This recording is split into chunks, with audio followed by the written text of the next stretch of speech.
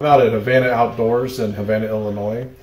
And uh, a few weeks ago, I actually bought a stealth from them, and it was with 60 pound uh, limbs. And of course, I expounded on the benefits of a 60 pound limbs.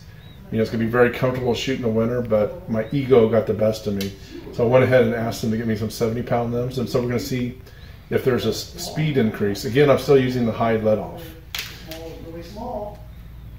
This is a 385.6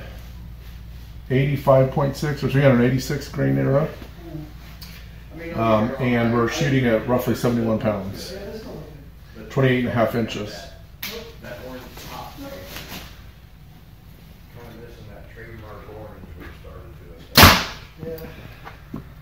We got 306 on the chronograph.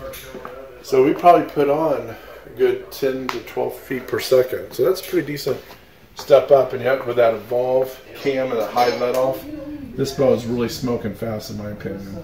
Anyway, thanks so much again.